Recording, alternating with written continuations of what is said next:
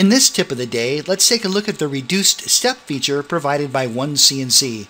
Now, the reduced step feature is a great feature in that it provides the ability to reduce the amount of material that the finish tool is going to have to remove when finishing the part. Now this translates to longer tool life as well as a much nicer part finish. Let me give you an example. Here we have a solid model and I've already applied a Z-level rough operation and for depth of cut I'm using 100 thousandths. Let's quickly simulate this. Get a right hand mouse click, select simulate.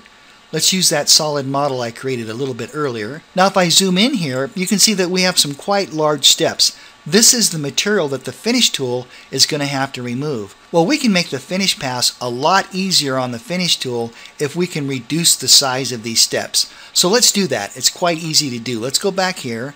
I'm going to quickly edit our machining operation. Going to right hand mouse click, select edit operation. And let's push through these dialog boxes here. And here you can see we have a depth of cut of, of 100 thousandths. Well, we can come back and reduce that depth of cut well, in fact, why not reduce that down to how about 30 thousandths? What that means is that OneCNC is going to first take that 100 thousandths depth of cut and then it's going to make that a lot smaller to 30 thousandths. We'll click next and finish. I don't need to repick the boundary. We'll let OneCNC generate the toolpath. There we go. Now let's take this into Simulate. We'll go to Simulate, click OK.